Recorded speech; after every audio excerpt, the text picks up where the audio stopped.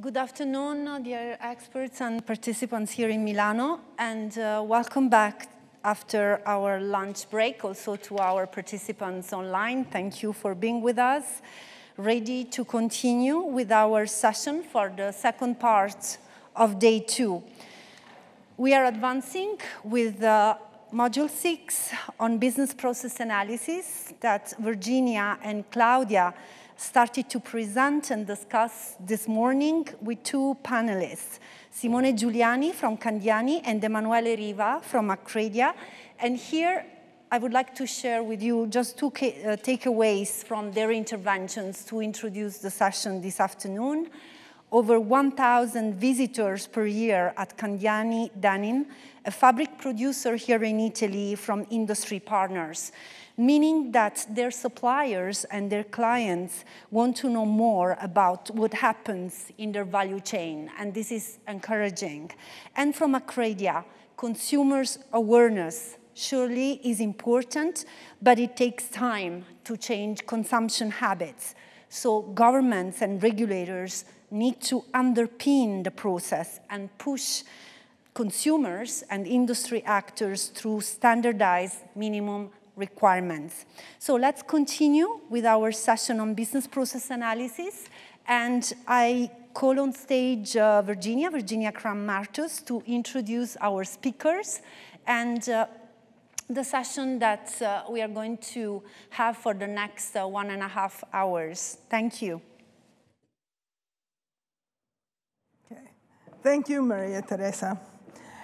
Well, could we uh, No. Where's this nice picture? Well, that was a really nice picture of Deborah and Marco and Piera, but uh, so, but we're going to have a, a, a, a presentation in several parts. Ah, there we are, thank you. We're going to have a presentation in several parts now. We're going to start with Deborah, who's going to talk about, Deborah Taylor, who's going to talk about her work on preparing the business process analysis for the leather value chain. And then Marco is going to talk about the work that he did on preparing the textile value chain business process analysis. Then we're going to turn to Piera, so Francesca Solinas, who is going to introduce some polls so that you get to provide us with some input. And she's going to talk to us about risk analysis, which is an important aspect of business process analysis and also traceability and transparency and focusing your resources on the areas that need the most attention.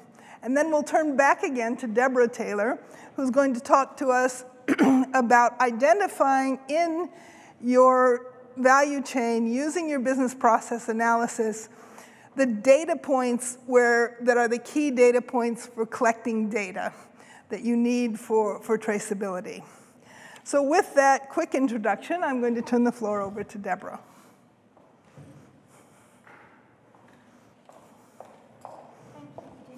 And uh, hello, everyone. It's a real pleasure to be here. I've been involved with the Secretariat now on this project for the last 18 months. It's really rewarding, but it's also really great to see the engagement grow as we progress as a team. So I'm, I'm really pleased to be here to tell you a little bit more about the work we've been doing. Um, this module is quite technical, but there is a layering effect to the information. So I'm going to start us off right at the beginning um, and we're going to look at preparing the processes and the actors and that use case diagram that Virginia introduced us to in the first session. So, easy slide. Um, these are the processes that we uh, agreed in the leather value chain as being the general processes involved from the start with farming through to post-consumption. It looks quite simple, it's actually not. You know, there are variances within this. There are uh, different production models and methods that take place. And I touched on it earlier as one of the challenges that we had um, in creating the alignment. So you'll see as we go through, uh, if we look at the first process there, farming of livestock, that looks quite straightforward. Actually, there's a number of different methods of farming that we have to take into account. But for now, creating uh, a more broad process term was what was required in this uh, part of the process. And once we'd identified um, what we thought these processes should include, we then put that out to stakeholder consultation. 65 leather value chain consultants reviewed the descriptive work that we put together with these use case diagrams. And those stakeholders included brands, they included associations that are involved in the leather industry, uh, NGOs and IGOs that have a wealth of experience in the leather industry. And that was really important for us because for this to be successful in the long term, we need that engagement. And that's why that, that importance of alignment is, is so intrinsic to the process. So let's now take those key processes and put them onto, oh, go back one, uh, put them onto a use case diagram. Ginia explained this morning, the processes are in those center ovals. So they're the 11 sections that we already showed you in the previous slide. And then we layer this diagram now with the actors involved in those processes. There's two distinct sides here. You've got the process initiators, so they're the direct people that are involved in those processes. And on the right-hand side, we have the other service providers and suppliers that support that work and enable it to take place, but they don't crucially own the material. That's how we layer this use case diagram. Now, this is a very simple one that, that we put the whole of the leather production in that center oval there as one process. In actual fact, it's far more complex than that, and I'll show you on the next slide. We also tried to color code this work to make it a little bit simpler for people to read. And so the yellow ovals are the upstream processes, and the blue ovals that you can see there are the downstream processes. So it's important when we um, are working through with the different actors that we understand where they sit within that leather value chain perspective. So let's move on to this next uh, chart, which really kind of um, gives a simpler overview. That middle section of, of raw to finished manufacture of leather can be achieved in a number of different methods and a number of different ways. And so we kind of broke it out in this diagram to show you that each one of those individual parts of the process can be done in its own right by a completely different uh, facility. So the ownership of the material could go through four or five different hands before it goes on to become that product at the product manufacture side.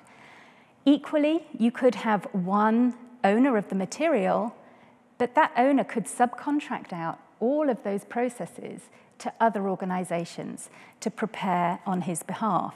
This is really important because this is what gives you an understanding of your potential for risk. And we're going to talk about risk in a few minutes.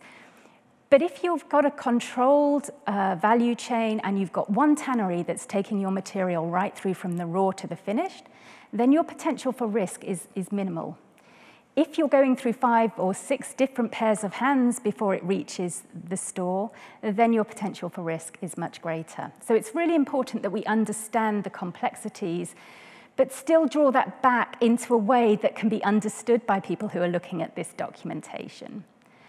And I think with that, I'd like to hand over to Marco, and he can tell you a little bit about the, uh, the cotton side of this and the textile side of, of this first piece of work that we did. And then we'll move on to the next layer, which is assigning those risks and, and looking at that. Marco, over to you.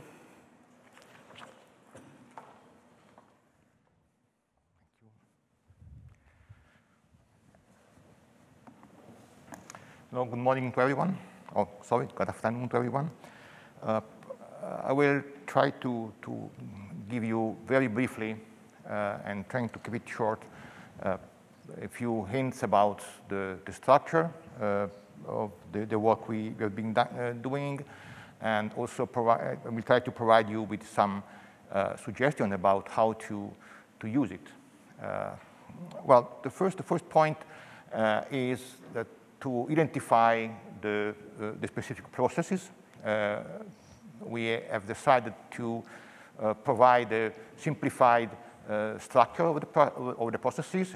Identif we identified 11 processes that goes from the raw material production down to uh, consumption. Uh, a first uh, caveat is that this type of uh, structure of processes is actually uh, general. You can find uh, supply chains or value chains that can have different structures. for example, this, this morning, Virginia, Virginia has mentioned the role of finishing that can uh, be located in uh, different steps in the, in the value chain. In this case, you see the finishing processes that are located between the spinning and the weaving uh, activities. You can have uh, uh, value chains when, where the, the dyeing is made before spinning, so materials are dyed in mass. In other situations, you may have the, the, uh, the finishing, so the, the printing or the dyeing even made at the end of the textile of the manufacturing part, and it can be done directly on the on the garment.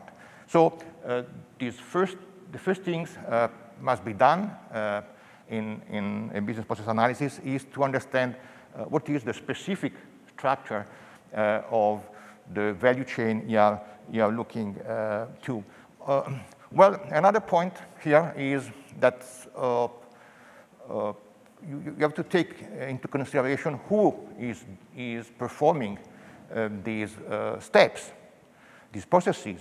Uh, you may have the, the case where um, a single process is split in two different companies because, uh, as I said this morning, textiles, uh, the fashions value chain is uh, super fragmented, and there are different ways to, to interact among the companies. But you, you can also have a, an opposite uh, case, uh, is when more than one or two uh, of these uh, processes are made by a single uh, vertically integrated company. So uh, this stage, the analysis of the processes along all the supply chain, as I, as I said, from the production of raw material down at least to retailing, but uh, you also have to take into consideration where, what happens, what, what can happen to your product when they are consumed and they get uh,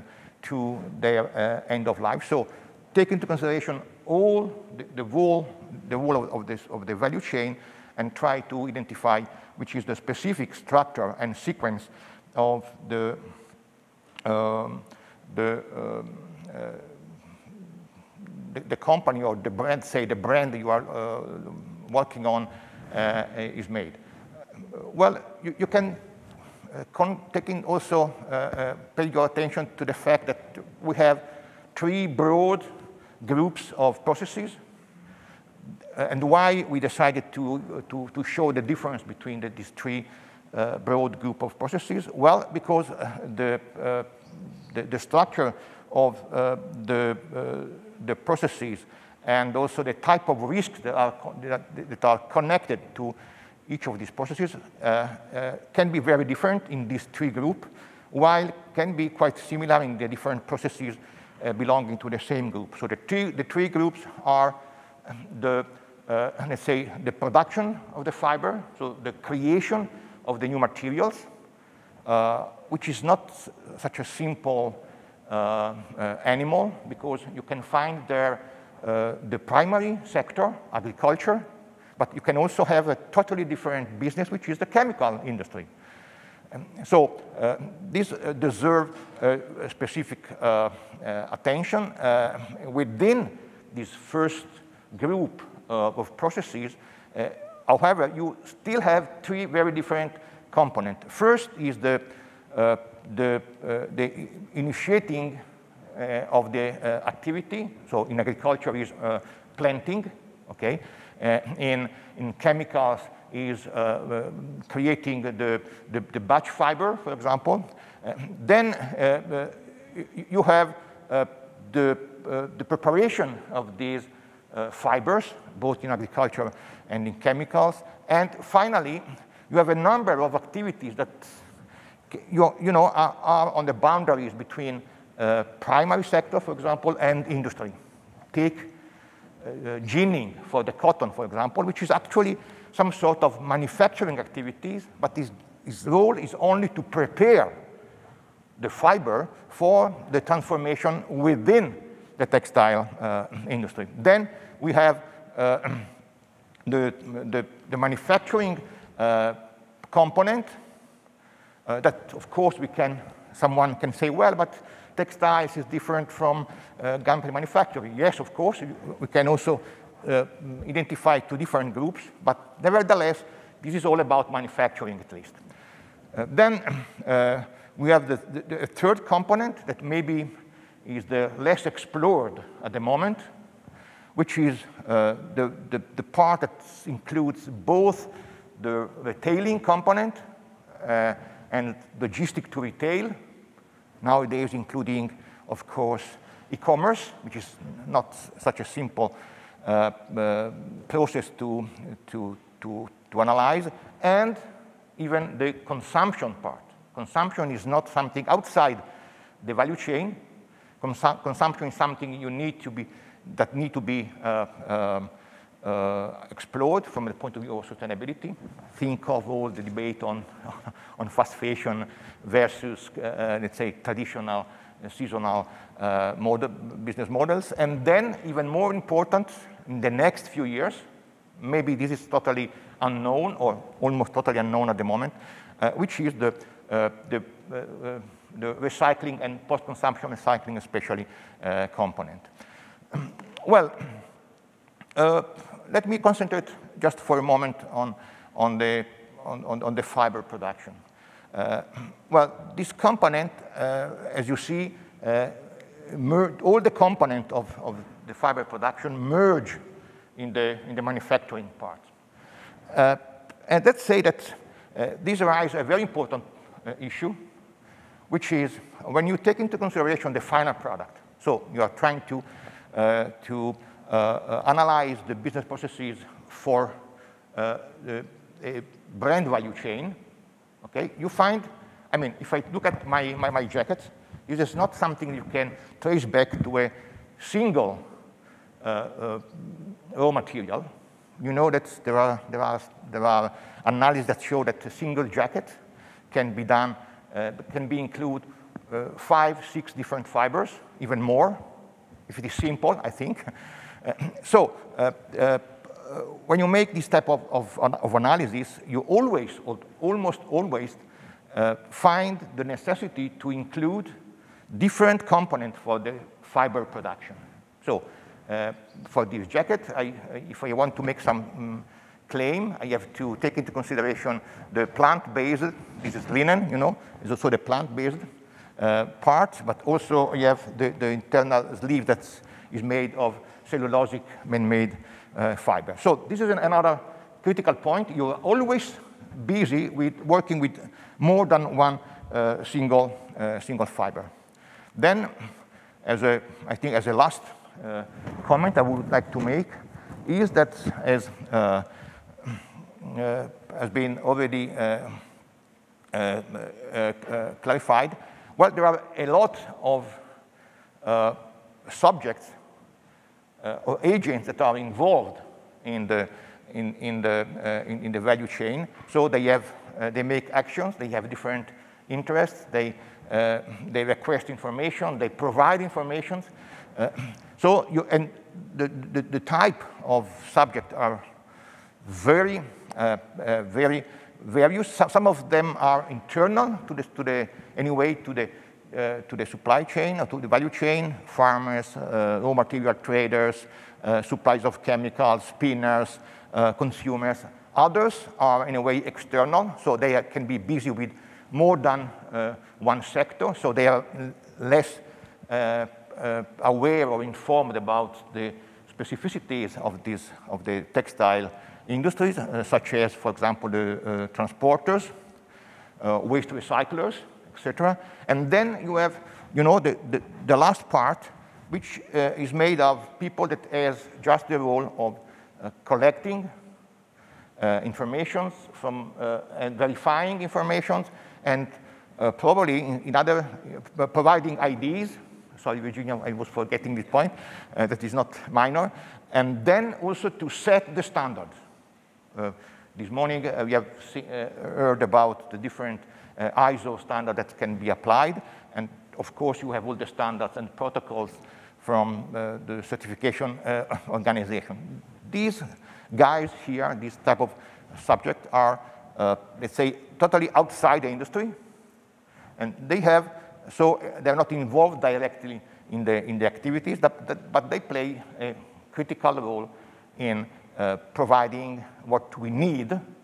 So information about what happens, uh, or, or, the five uh, W that are part of, of uh, our system for traceability and transparency. Well, that's all for my part. Any questions is welcome. Bye.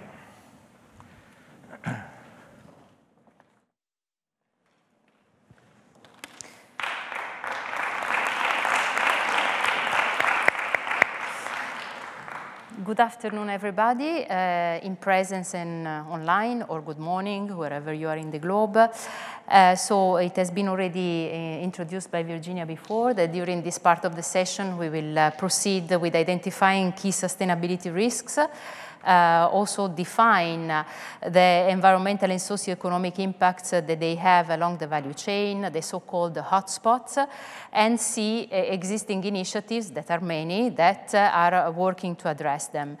Therefore, um, we would like, uh, uh, in this part of the session, for you to consider two key areas uh, when developing your business process analysis, and we would like to ask you some questions and to uh, launch uh, a poll.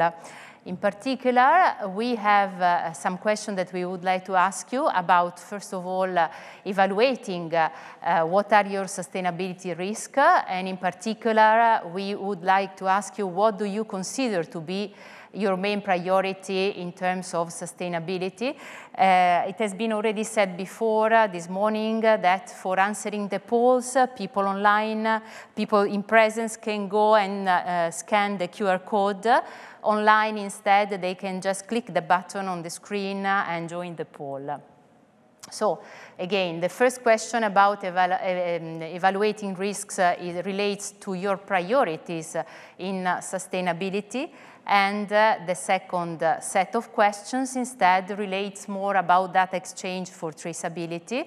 Uh, the first one is what you consider to be minimum um, acceptable methods related to raw material sourcing and origin and you have a choice. Remember that you can give only one answer. It's a limitation that we have in the system. We understand very well that, of course, uh, your priority in terms of sustainability will not only be one, but uh, you know, we will discuss then uh, when we receive uh, the answers of the polls and we will uh, go in more detail. So the first one related to raw material sourcing and origin, and the second one instead related to sustainability claims and production processes. So you have to select what is the methods or the documentation that it, in your opinion is the minimum you can accept to prove traceability or sustainability of a product. Of course, we know very well that there are a lot of implications such as geographic locations and so but uh, please participate to the poll and then uh, together with the colleagues we will comment uh, also uh, the results. So, before we start, uh, I just want to refer to uh, the sources that we adopted and we used to prepare this presentation and of course for the business process analysis when we speak about risk and mitigation of risks and the documents and the reports that we have been uh, uh looking at are the documents from the OECD, uh, documents from the ITC, from the UNEP and the UNECE of course. So uh, in this, I don't want to suggest answers now for uh, the post that we just launched, but uh, here is uh, uh, a slide that is uh, basically summarizing all the sustainability risks that go, that cross both textile and leather value chains. At the, at the top, we have those that are more connected with the processes, and at the bottom, you find all the risks that go cross-cutting to the entire entire value chain. So now let's have a little bit of, uh, let's look in detail about uh, uh, what a hotspot is in, the, in uh, the textile. I will concentrate more on the textile now and then uh, my colleague Deborah will make um, the point instead on, on leather. So a hotspot normally is a stage in the life cycle of a product that accounts for a significant part of its environmental, social, or economic impact. So, of course, understanding where the hotspots are in our value chain or supply chain is critical to identify the corrective actions. So that is why the um, um, business process analysis report provide uh, a matrix where uh, hotspots, where sustainability uh, risks are presented and they are spotted exactly where they happen in uh, the different processes. Here you can see the pre-textile manufacturing processes and you can see as a sort of example that insecticide, pesticide and fertilizer of course happen uh, mainly in plant cultivation in uh, raising of animals, uh, in extraction of cellulose, and uh, so on. I mean, I don't want to uh, go in detail about each one, but this matrix in the business process analysis provides a very, a very useful and important, let's say, guide to start locating and localizing the hotspots in the different, in the value chain. Here it's about the textile manufacturing processes. just one point, you might have noticed that uh, human rights and labor rights, uh, which is the social part of the sustainability risks, happen, you know, uh, almost in all the um, processes and of the value chain. Here you find a summary that is a good reference as well uh, about uh, the hotspots. Uh, you, we see in detail that in fiber production, we have a very high use of fossil fuels, a high use of agrochemicals, land and water to produce, of course, natural fibers, especially cotton. Uh, and uh, as said before, we re register, of course, unsafe working conditions. In the yarn, fabric, and textile production, uh, again, high use of fossil fuels, heat for the heat and electricity needed, and then we will see how all these impact each stage of the value chain in terms of percentages against the global.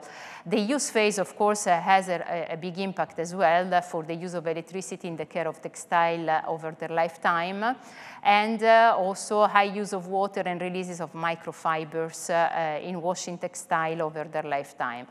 Uh, end of life, we have low rates of uh, recovery of textile. Of course, uh, I, I, guess the recycle is below the 13% of the global uh, consumption, so the, the, also the impact is low because the recycling is low. Um, Deborah, would you like to say something about the, the, the this slide on the leather value chain? This is a visualization of how the risks will vary according to where you sit on that value chain in the process. But what's also really important to remember is that what happens in one facility might not be the same as even the facility next door to you. So this is why the, the whole BPA as a, as a topic is so important.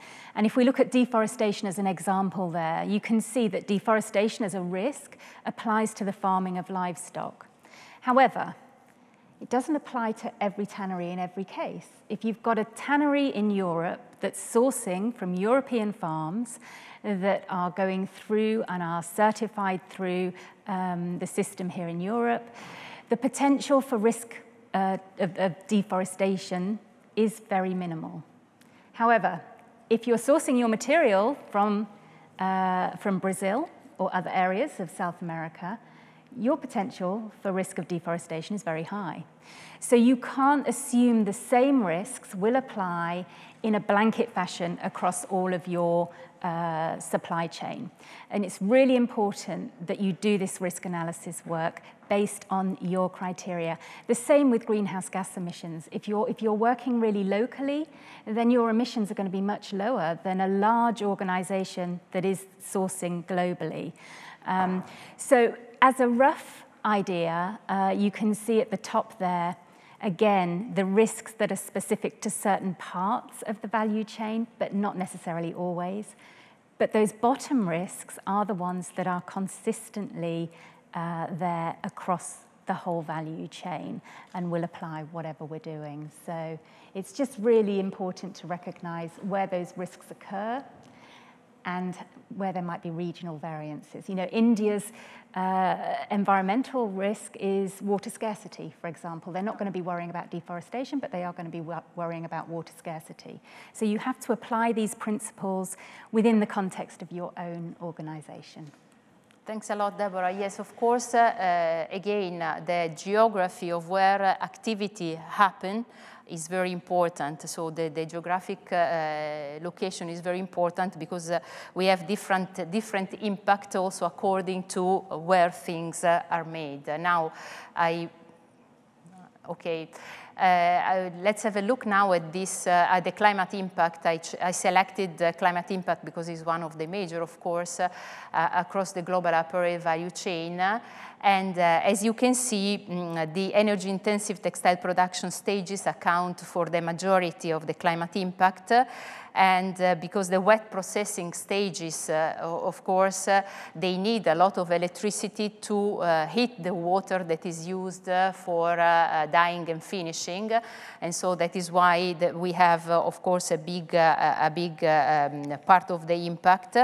Um, again, I, I, want to say that we have to consider while developing our strategies and while analyzing the risks along our value chain, the geographies. So where the, the, geographic location, both for origin of materials, but also for uh, where processes happen, as this can bring about relevant changes while calculating the impact. If you take, for instance, Asian countries that, are, that produce the majority of uh, certain also intermediate products, such as textile and, and yarns, uh, such as China, India, and Bangladesh, we will all see that we have, uh, of course, uh, they, they, rely heavily on uh, fossil fuel for energy, uh, for energy generation. So of course the impact uh, is quite big. So we see in the first position we have uh, energy intensive textile stages that account for the main part of the, of the climate, uh, uh, of the impact on climate.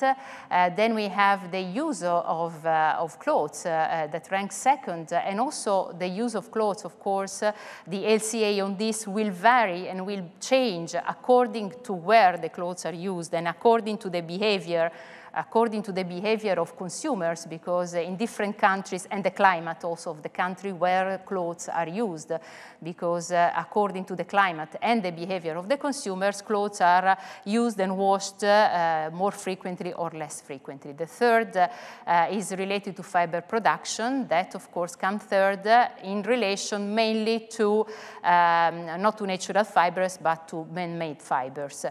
We have adapted this slide uh, putting a negligible in end of life, uh, and I guess Marco has something to say about that. Please, Marco. Uh, yes, uh, thank you, Piera. I just would like to, to comment on, on uh, the negligible uh, statement on the end of life. this, of course, is due to, the, to the tool that has been used for measuring the impact.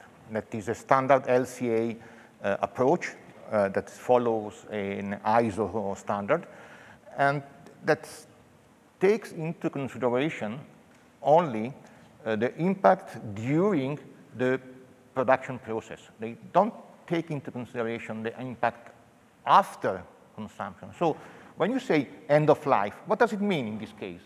It means that uh, they, uh, the LCA studies, study has considered the incineration or landfilling of the, the, the, garment to the end of life uh, as, a, as a cost hmm, has calculated the cost and the impact on the, uh, on the, uh, on, on, the climate uh, change and has considered only this cost. It doesn't take into consideration what happens to, to the nature with the waste or the, it doesn't take into consideration the, all the topic of the discussed and controversial topic of uh, microplastic in the, in the oceans, etc. So this is just to mention that when I was referring before uh, and also this morning to the difficulties to model the process for uh, post-consumption and uh, post-consumption recycling, uh, well, you see that the most used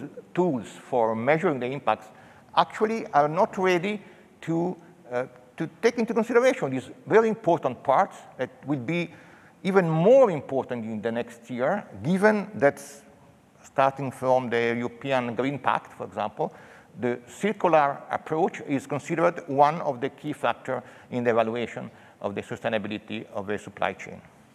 Thanks, Marco. It's very important to make uh, this point. Uh, we are still, uh, I mean, uh, we are uh, progressing with measuring uh, impacts and evaluate, but we are still far from reaching the real dimension of what, of what are the impacts on environment, on social aspects, and so on.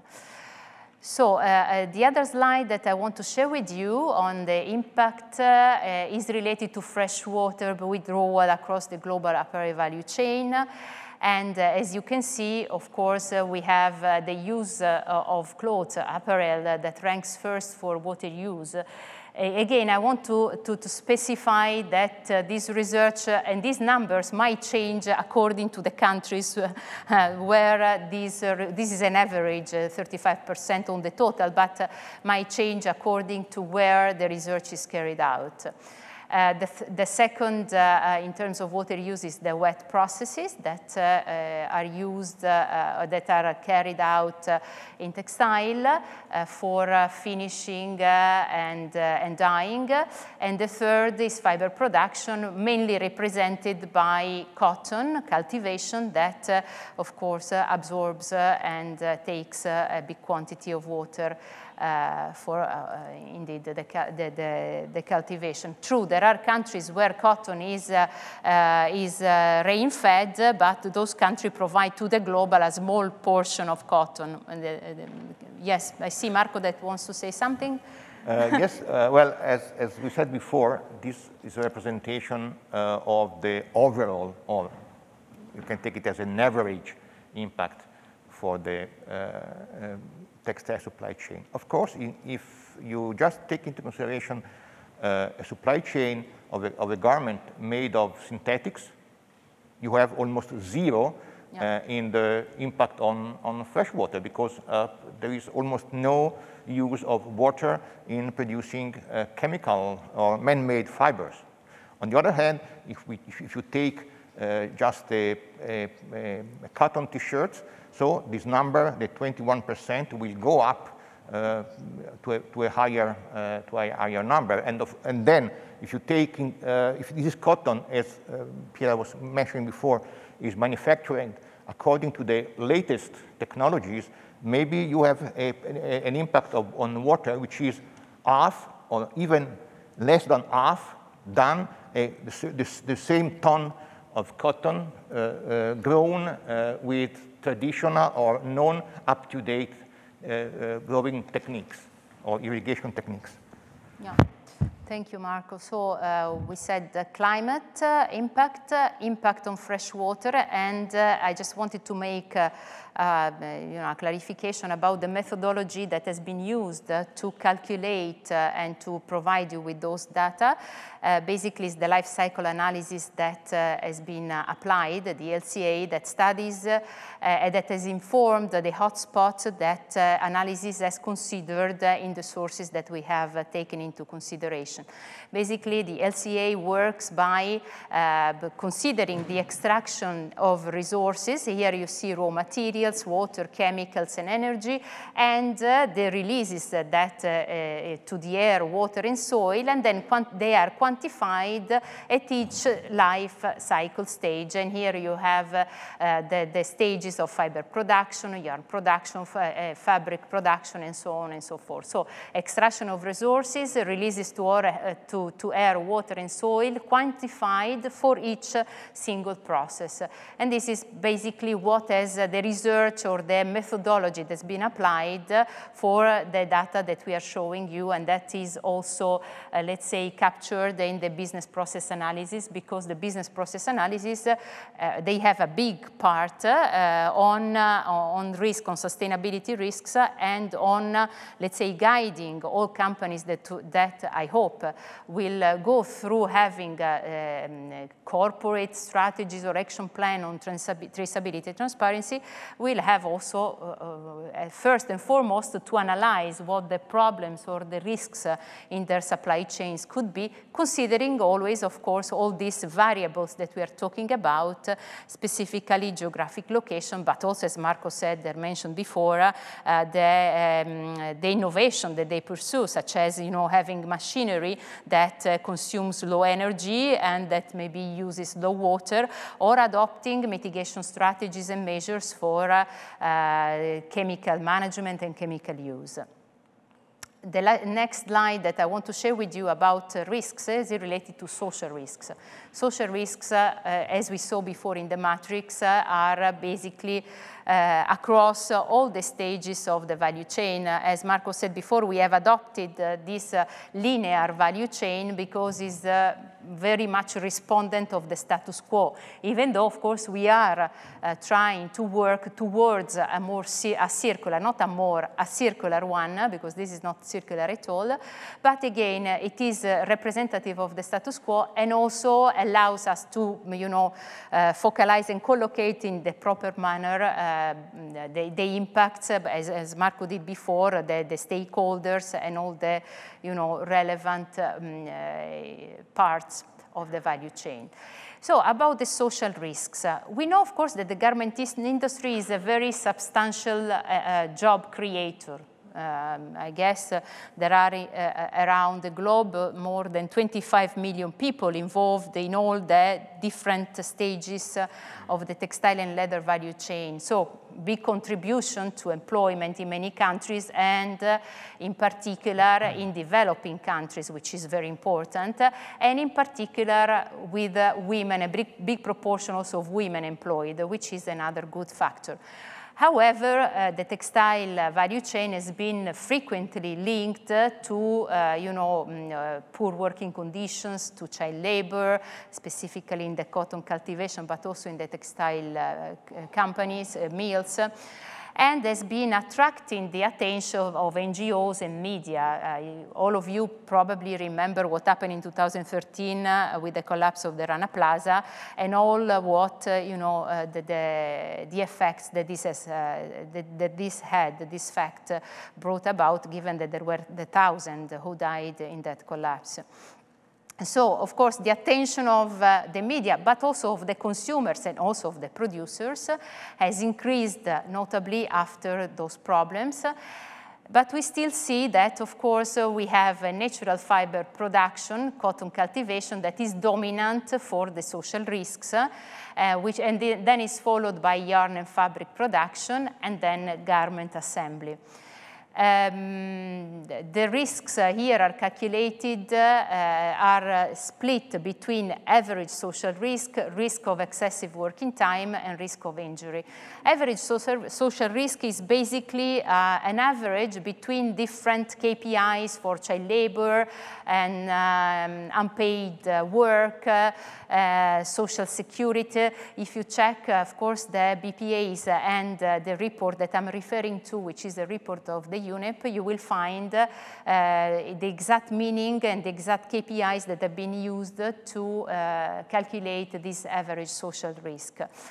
Uh, another point here, which is the same comment that I gave you before, uh, that we have always to bear in mind, uh, is the geographic location. Now, for instance, for young, for cotton, we know where cotton happens, uh, and uh, the majority, majority of cotton in the world is uh, cultivated in, the, in, countries where there are many conditions that not always they want to bring child labor.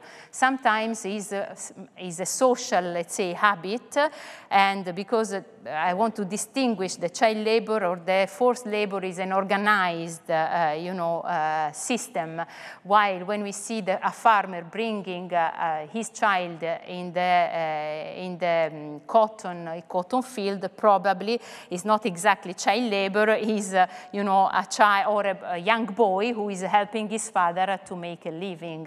Of course, it's unacceptable, but we have always to consider when we calculate, calculate our risks where we are going to source the material and where we are going to transform, industrially transform that material. Because also the big, uh, the high uh, proportion in the um, in the fiber production or in the intermediate materials production is related to the fact that there is a big pressure on prices in the market. So um, companies and industries are uh, pushed to, uh, let's say, delocalize their business where uh, the, the cost of work is lower because, uh, so this is again a discussion to be, uh, to be um, uh, taken uh, by the whole value chain, starting from the brands. So the discussion that we did uh, in these days about uh, the necessity to work uh, uh, in partnership, to work uh, with a value chain approach applies so much also to the risks because only if we have a value chain approach and we have the willingness of all the parts and the actors and the stakeholders in the value chain, we can really mitigate those risks.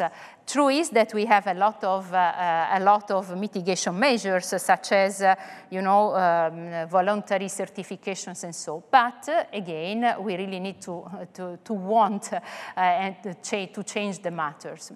I have taken another slide that is just uh, has been uh, probably already shown, I think, yesterday by the authors of this report, uh, which is uh, the impacts uh, that have been uh, increased by also the COVID-19 pandemic.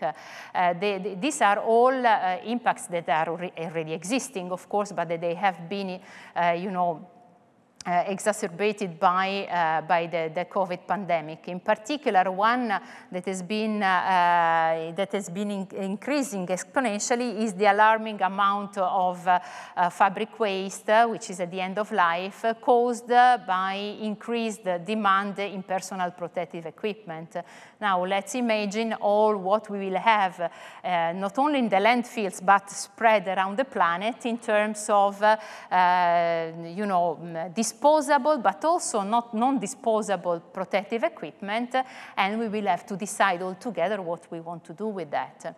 So all the other risks are the, the ones that I already mentioned, uh, apart from the disruption in the, in the supply chains that happened, of course, uh, in particular in the, on the textile because of the lockdown uh, in countries. So we have had companies that couldn't produce and consumers that, that couldn't buy. So it has been uh, basically a perfect storm.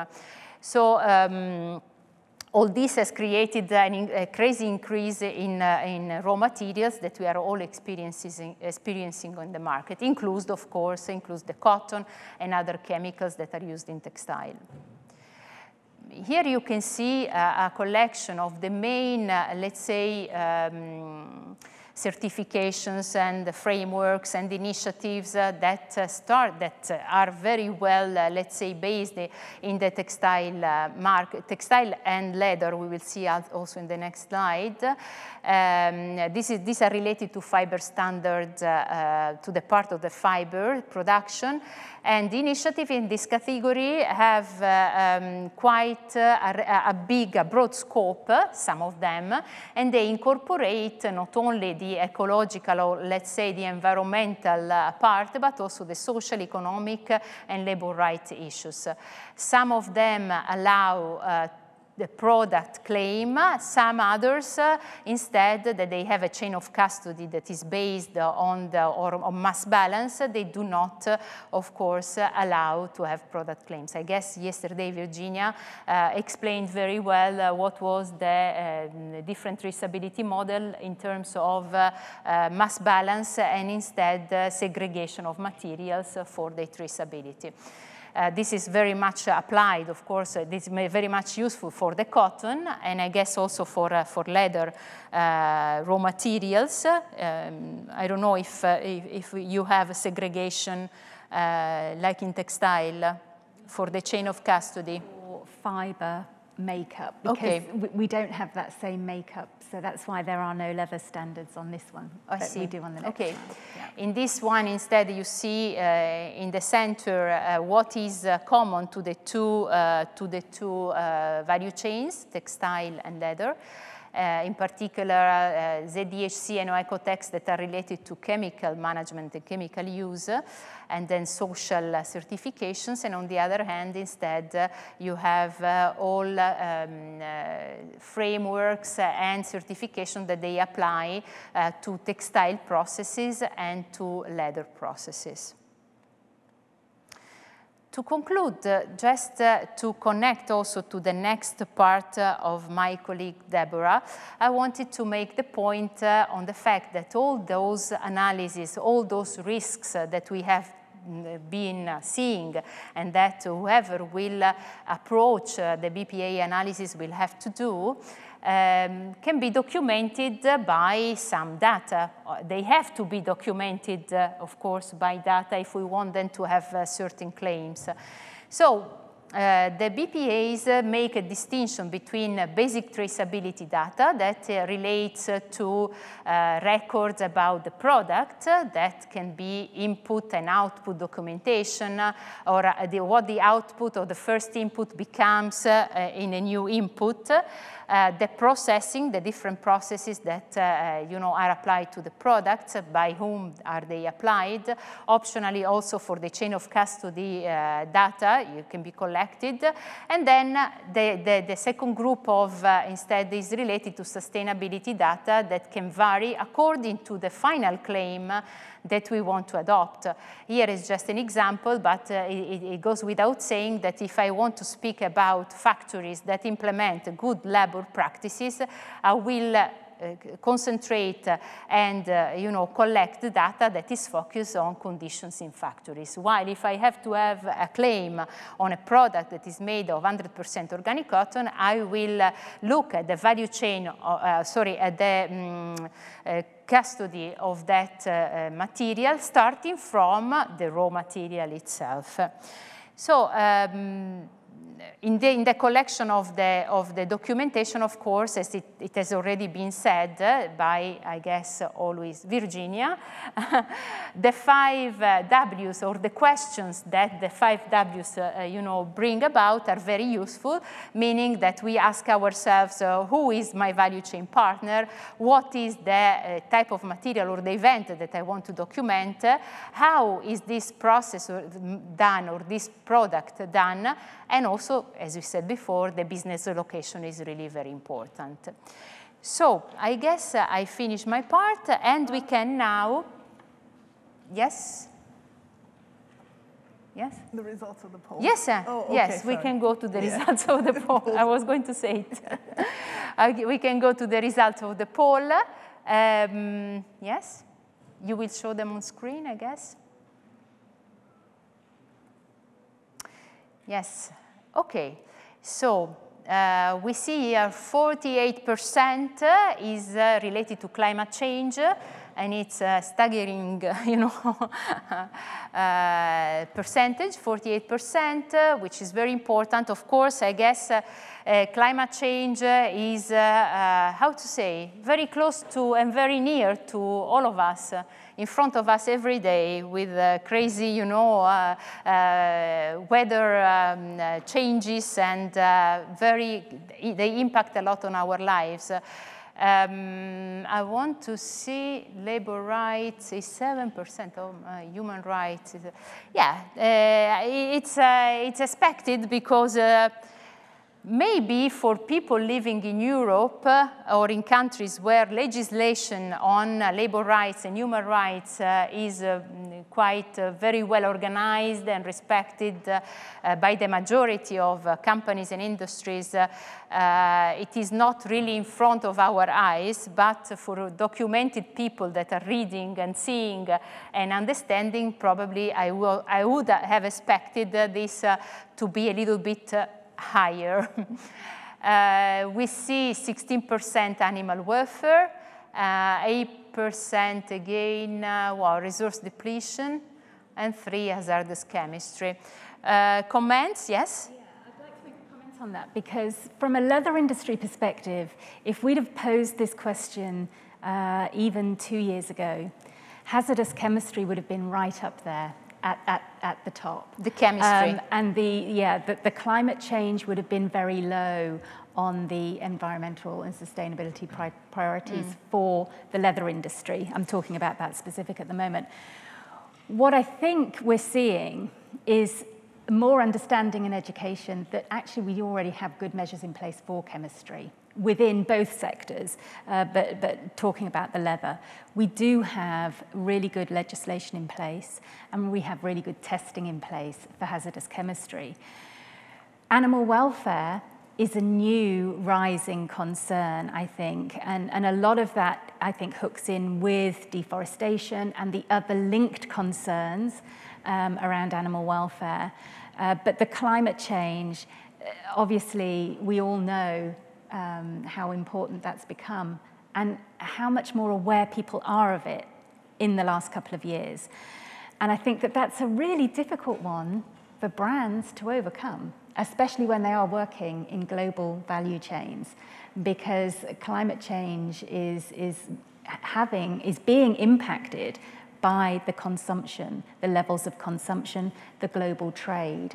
So we don't want to go back to a localized situation and, and economy, but we certainly need to start having those hard discussions about whether or not it's still appropriate to source from somewhere on the opposite side of the world because you can force them down cost-wise and, and, and make those margins preferable from a brand perspective. Um, I, I think if, if we start, and that hooks into the social dimension very well, but I think that these challenges are, are really changing our focus on, on what we need to be thinking about.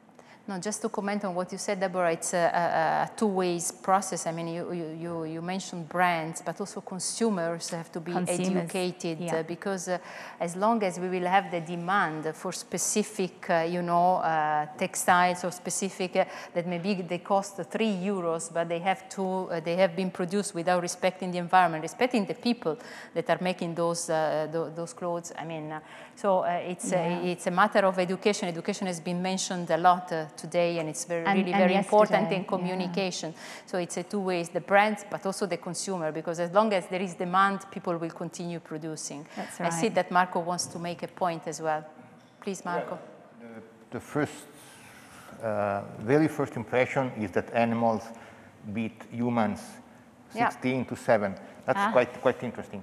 But, but apart from this, this joke, uh, I think that this tells us a couple of, of, of gives us a couple of suggestions. First, uh, that maybe uh, uh the uh, sustainability concerns are strongly interlinked and uh, not always clear because of course in this case I assume that we can sum up hazardous chemi chemistry that has a surprising very low Uh, uh, let's say concern uh, to the health and safety, for example. Uh, and yeah. this can be, so uh, uh the first point is that it is good news for, for our project because we need to, to set in more precise way the, the boundaries between the different points. And the second, if you have, you have to consider the 3% of hazardous chemistry that surprises me more than the 16 for the animal welfare, uh, I wonder if compared to the 8% of resource depletion, this, uh, maybe it shows us uh, that sustainability uh, in the fashion business is what I call usually a, a moving target. We, have, we, we had a period starting 10 years ago, exactly 10 years ago in 1911, uh, following a huge campaign by Greenpeace. Maybe you, all you know the, detox campaign, mm -hmm. uh, where chemicals, the problem of chemicals has become the, by large, by far, the first most important concern within the industry that, and as uh, uh, and gave rise to a, a, huge number of initiatives, right? Uh, nowadays, on the chemicals issue, uh, the, the framework is much more uh, fixed and, and clarified. There is still a lot of work, but the idea is that something has already changed among the uh, professionals, I would say. Uh, while now we are entering the era, uh, the age of circularity, and connected to circularity, uh, resource depletion is the first point because circularity is the efficient use of resources in very short terms. So maybe this, this, this, this and of course uh, climate change is very, very long, very, very wide topic. So maybe it shows us that things are changing in terms of the, the, the focus of people yeah uh, in, the, in, the, in, the, in the fashion yeah. business. Okay, just to sum up, so as you were, as you were saying, Marco, our questions were quite uh, fragmented. So maybe uh, if we put together human rights, uh, labor rights, uh, and I mean all what is related to the social dimension of sustainability because uh, probably, I mean, uh, the percentage is a little bit more encouraging. Another point that I think it's important also for um, all our partners, but for the project itself, uh, is that uh, maybe we have also as a project uh, to stimulate more discussion about the social part because again we see governments we see um, everybody is moving uh, COP21 and everything. We have a lot of uh, big uh, initiatives by governments by big partners on the environment. Where are the ones about the people have you seen one? Maybe it's, I, I don't know, but I didn't hear about all the you know, governments and the big countries in the world getting together and deciding uh, how they should, uh, you know, be, things should be done in certain countries where people are exploited, where children are in companies, or where you, women are, uh, you know, discriminated. I haven't seen, yes, I, I, I listen a lot of, you know, talks and reports and so, but not real measures. So probably probably this is an indication also for us in the project to uh, you know, um, create some more uh, uh, discussion about this. Okay, I guess I, I finished. If you have, uh, yes? Next slide. Yes, I, ah, there are other slides. I, yes, there were two questions actually. I don't know if I went up. Wait. So that's the minimum. This is the related to? This is minimum data. Yes, yes, but I don't know if it's the, num, num, the raw materials or the that processes. Was the origin. That, that, that, result was question one, the, the origin il, of material No, voglio vedere il, la prima, la seconda, sì. No, no, no, we want this first one. Question one from poll two. Yeah. That was what that, that's this So one. this is yeah. question one of uh, poll that's number it. two. Okay. Yeah. So we have, uh, um, by the 37%, paper-based evidence, which is, uh, I mean, uh, uh, if I tell you that uh, this is uh, cotton coming from, you want to see the invoice. That's the minimum acceptable, basically. Then we have a 33% electronic evidence of batch identifiers, which is, uh, uh, uh, I look at Virginia, but I think this is a very big, you know, it's a very granular, I mean, we are going into high granularity of, of evidences, correct? Well, here we're talking about the minimum. So that means, you know, maybe you accept paper and electronic. So, mm -hmm. yeah. No, no, I'm talking yeah. about, yes, uh, the, the batch identifiers. I mean, oh, yes, the, the, because uh, the point is not the electronic, the point is the batch. Sure, the, yes. People are That's asking about input the batch. and output to match yeah. them so that yeah, you have the. Yeah, exactly. And then uh, the 17% embedded or physical markers. we will have also a session mm -hmm. tomorrow on physical markers and pilots that have uh, happened uh, in the project about the use of, uh, of physical markers on cotton. And, uh, uh, okay, 13% text email communication. It's, uh, this is, uh, um, I don't know, is there another one? There's one more, yes, we've got the question two, so one more This slide. is, yeah, this is the question That's two, it. perfect, Yeah. okay. Um, the 44% is uh, with second party certification, the self-assessment reports uh, done by a company and then uh, assessed, uh, verified, let's say verified by a second party.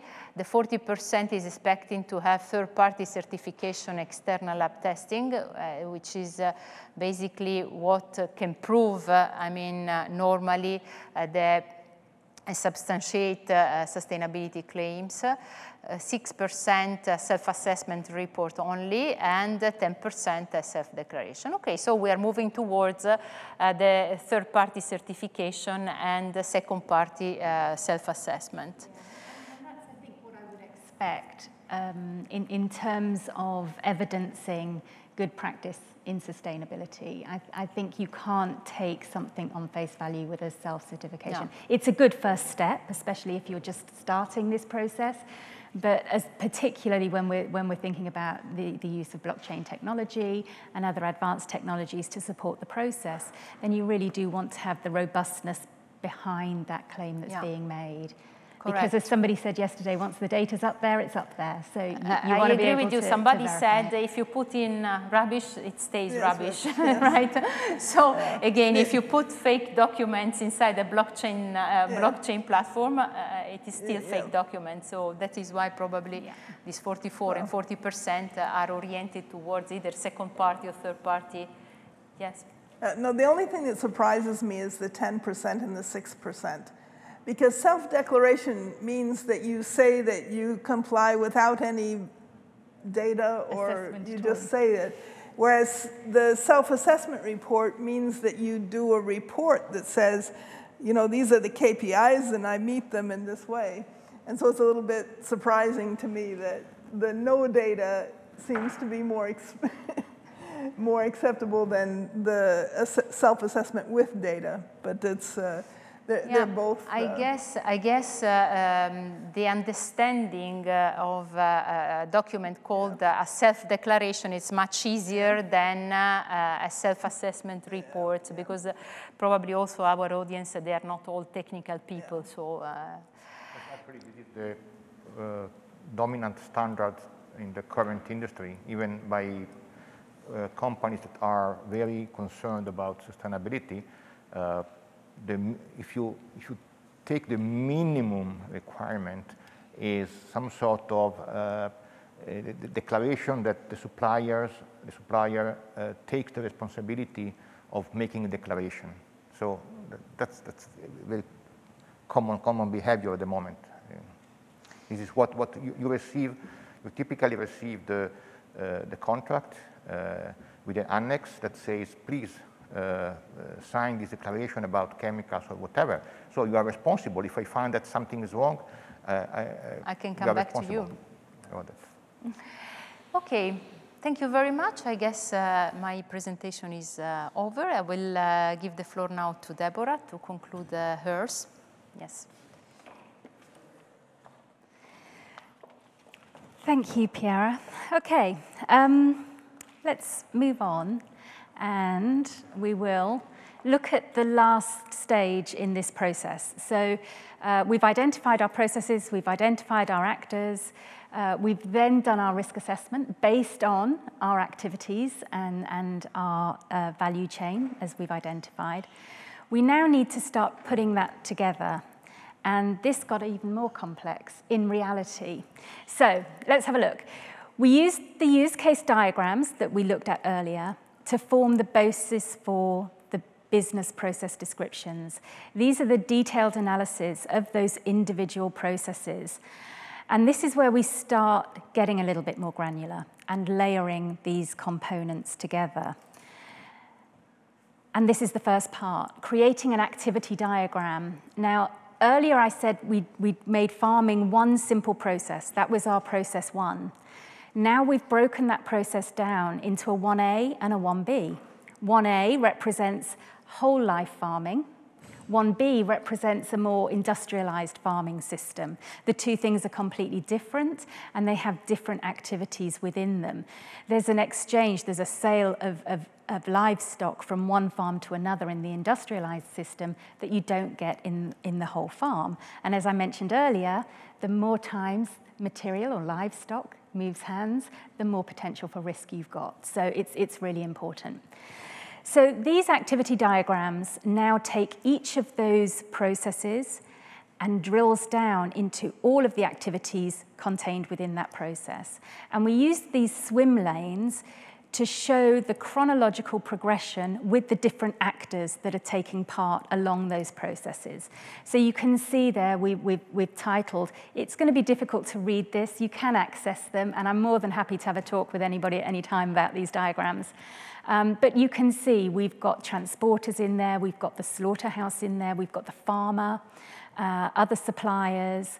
Uh, so we, we put those across in those swim lanes, and then we literally just take that process through from start to finish to where it moves on to the next of those processes.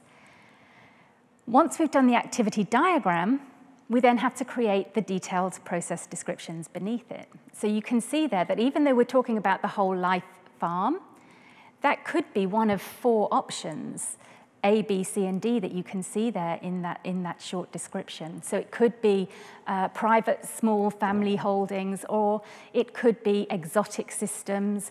So we've got to remember that there are many ways that we can get to, to the end of the life of the animal.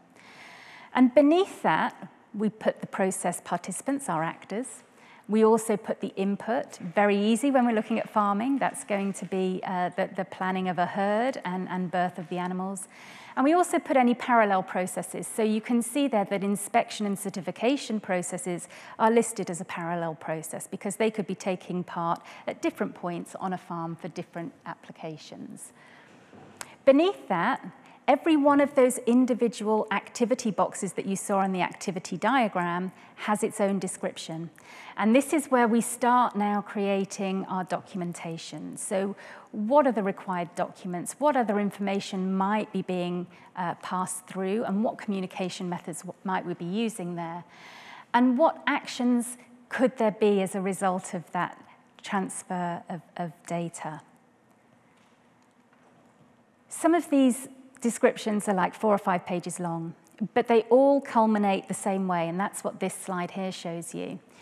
So we look at any of those common exceptions or problems. Um, eh, for example, not related to farming, but if we think about uh, a tannery process, let's suppose a tanner splits his material into a top grain and, and a bottom split, and then sells it on. If you have an identifier on that, on that hide, you might have lost that off the bottom piece of that leather as it then moves into the system. Or you could end up double counting material. So it's making notes of any common exceptions or problems on this document as well. And of course, any circular economy related information that we know about. Um, we then look at those sustainability risks that we've now assessed, as Piera has just told you about. And we also give links and ideas about the organizations that are out there that mitigate those risks. That's not a fully inclusive list. You can't be fully exhaustive, but it's good examples of well-recognized organizations that can support with that mitigation.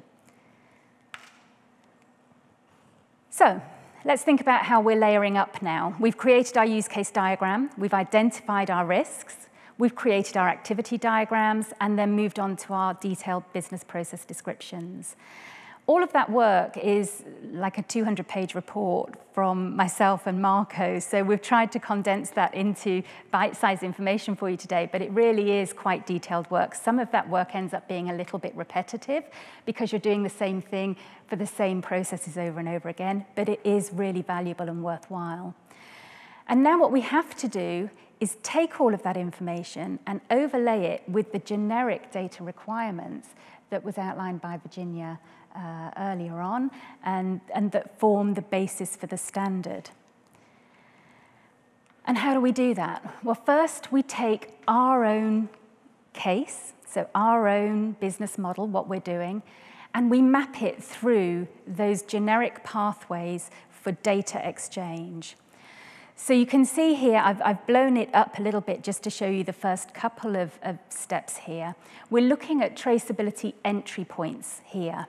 So you can see that 3.1 could be split either way. You could either be registering a traceable asset for which you already have an identifier from further back. In this case, it could be a farm. Or you might be assigning an ID to a traceable asset because you're the entry point and you don't have any information or identifier before you take receipt of it. So you could go either way. And you follow that pathway through to what's relevant for your particular business case. And then once you've done that, you then take that information and pop it back onto those activity diagrams.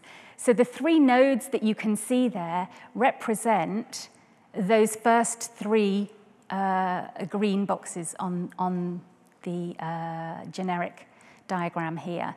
So 3 1.1, 3 1.2, and 3.2. So here you can see 3.1.1 is the registration of an ID. You've got 3.1.2, which is the assigning a traceable ID. And you've also got 3.2, which is the verification um, of the asset. So, and that could be done through the inspection services. So that's kind of how you overlay the generic information onto your actual business model to see whether or not you're collecting the information at the points you need to collect it to provide that traceability, which will ultimately give you the, the foundations for transparency because you can't start layering that information up until you've got this work in place. It's, it's worth remembering that there are different entry and exit points and that what we're encouraging here is that as a system and a standard, if you can't get right back to the farm right now, that's not a problem. Start from where you can, and at least you can demonstrate that perspective. And then you can evolve, you can grow it out, and try to encourage the engagement of those partners moving forward. So, conclusions. Uh, do you want to take the conclusions, Virginia? Shall I wrap? you can go through the, yeah? okay. Part, yeah. So from, from both perspectives, leather and textile, having done this work, uh, and given the fact that we know we had to make some generalizations, um, what we did conclude is that there is the potential for good data availability across those value chains in both leather and textile. Where the gaps do commonly exist right now, it does tend to be in those upstream areas, um, which haven't always been as, uh, as connected to the direct processes as we would like. So where there are gaps, there's the potential to plug those gaps definitely, but it is going to require working with those upstream partners a little bit more closely. Um, and these BPAs, they're really important. They are complex, they're time consuming, but they do give you the tools that you need to be able to then move forward, engage your partners in a really valuable way moving forward. And with that, I shall say thank you very much and hand back to Virginia. Okay, thank you. Well, thank you very, very much. I think now we have a, a good overview of what is a business process analysis, how it's been done with established uh, value chain processes. Could we go back to that slide? I don't think I touched this. Hmm. no, there's one more. There we go. Okay. Let's not move. it's the last one.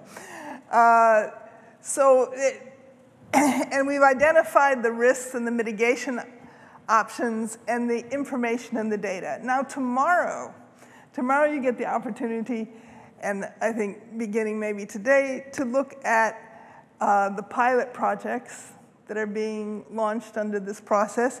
And I hope you'll be able to see the links between this work and, and that work in terms of identifying the, the data that, that, that's needed. And I'd like to thank uh, all of our, our three panelists and and, Claudia for the excellent presentations on this topic.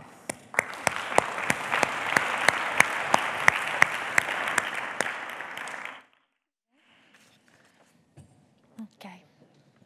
Thank you, Virginia. Just uh, whether you have the questions on the Q&A. From the audience that you would like to take and maybe, yes, Piera, before we conclude. Yeah, I don't think I, I, saw that because we're out of time also. Yeah. No, you have five more minutes. I have five more minutes. Yeah. Wow. Do you have the questions? Yes, I, I have don't. the questions here. okay. I need my glasses.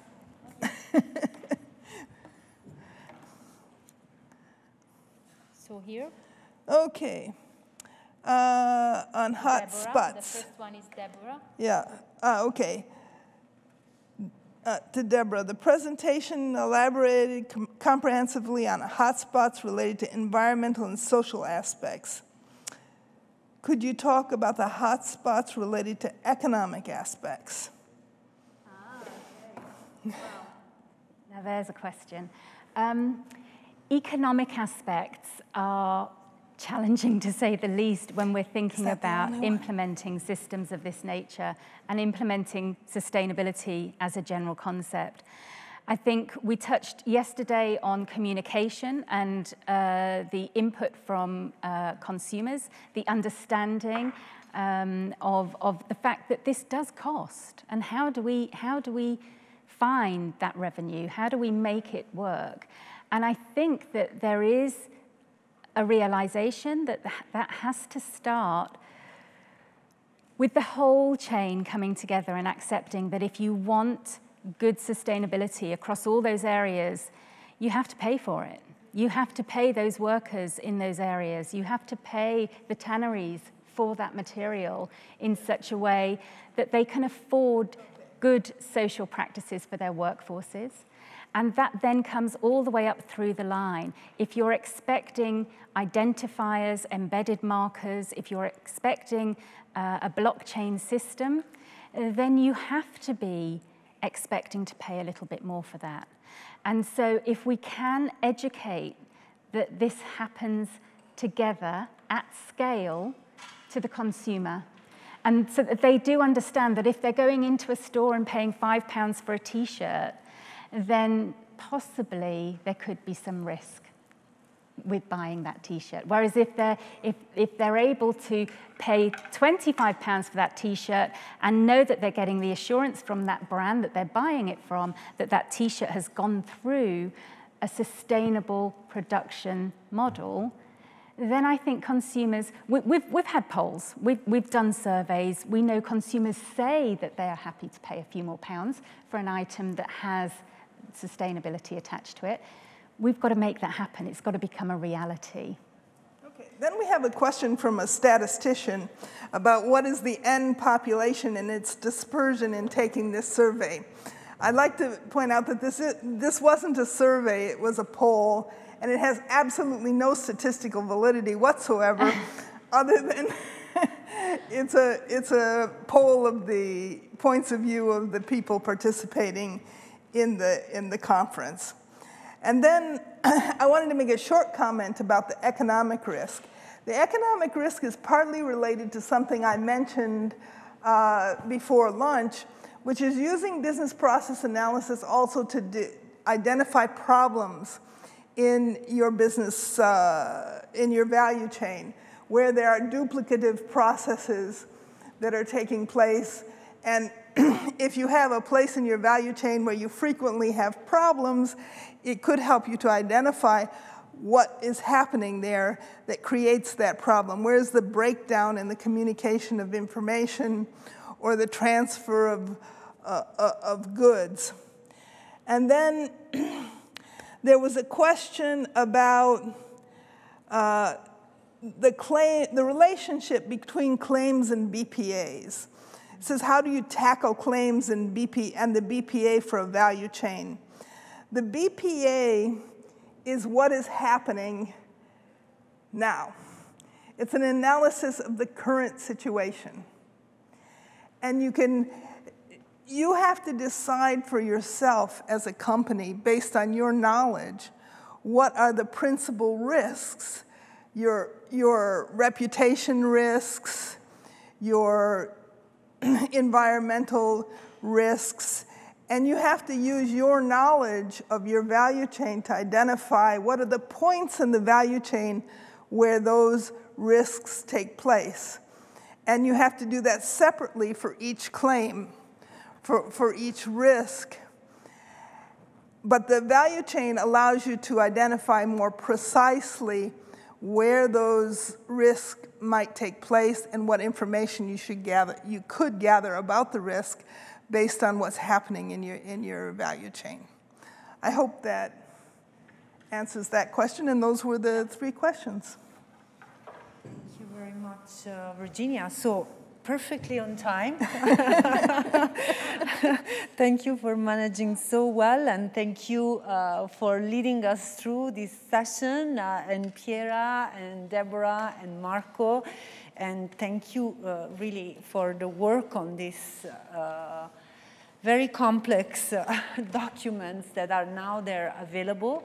Uh, and that uh, will guide you through how uh, to do a business process analysis. We have seen that this is about analyzing your business processes, what are the actors, the main actors along your value chain, analyzing your risks along the value chain, identifying the key data points uh, where actually to collect and exchange data with your value chain actors based on your risk analysis uh, uh, for the traceability and transparency purposes. And that will lead us into the next session, uh, which is about uh, uh, the, the, the data model, the business requirements and data model.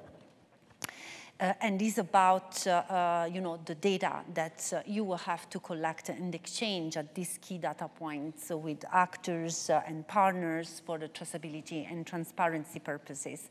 And that session is uh, with uh, uh, Gerard Heemskerk and Claudia Di Bernardino from the UNECE project team. And then we have three panelists that will interact with Claudia and Gerard, Piero De Sabata and Euratex, Katie Shaw from the Open Apparel Registry, and Julie Brown from the Eon Group. So again, uh, a rich panel discussion. But before uh, opening uh, the, the coffee break and inviting you for the coffee break, just a note, I was uh, quite, uh, uh, let's say, um, uh, it was in interesting to see the outcome of the poll uh, on uh, sensitivities around uh, the sustainability risk and see how much attention climate change uh, uh, is now raising compared to the social human rights labor dimension. But I want to mention that there are, of course, very important initiatives out there that have been a key reference for the work under the project.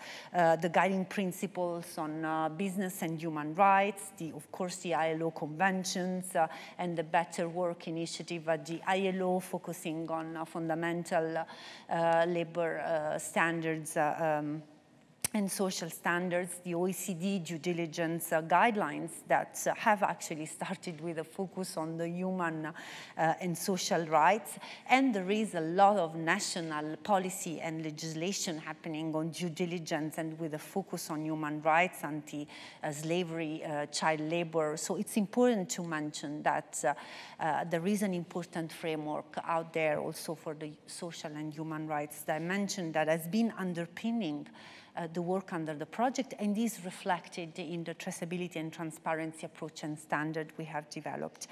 Just to conclude, thank you for your attention. Have a, a nice coffee break and looking forward to reconnect for the final session of the day. Thank you very much.